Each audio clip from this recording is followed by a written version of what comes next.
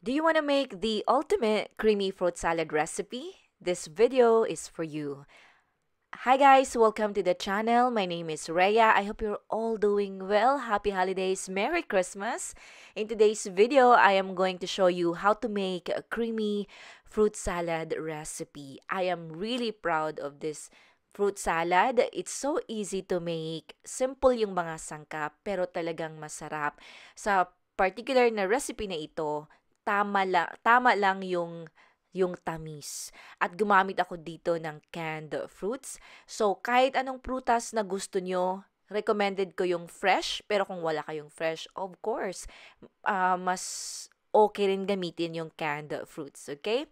I don't recommend frozen. So, wag nyo yung uh, gagamitin.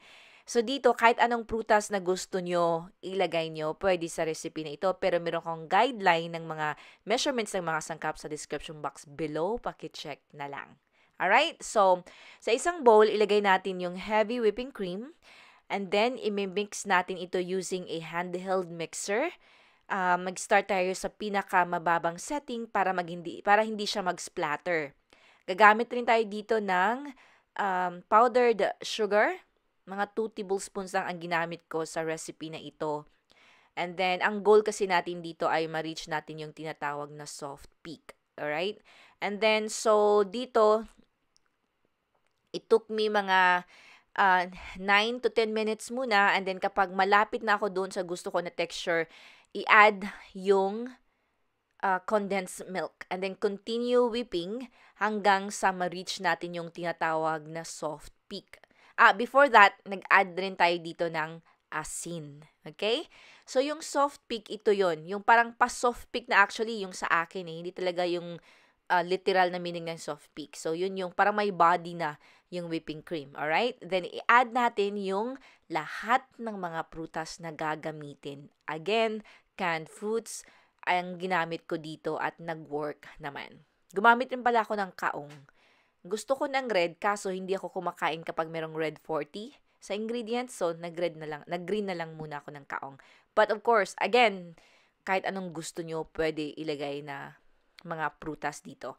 And then, i-mix lang natin ito, haluin, and then i-refrigerate. Pero, tinatry ko ito after ko luto, I mean, after ko tong um, gawin, kumain ako agad. Masarap. And then, you can chill this in the fridge para ready na siya for Noche Buena. Okay? So, bago nyo i-add yung prutas, kailangan yung tikman yung cream. Okay? And then, adjust according to your taste. Adjust sa kung gusto nyo ng mas matamis or sakto lang na tamis. Okay? At isang tip ko rin dito, tikman nyo yung mga prutas, especially pag galing sa can. Kasi minsan, baka sobrang asim So, i-adjust niyo yung sweetness ng cream.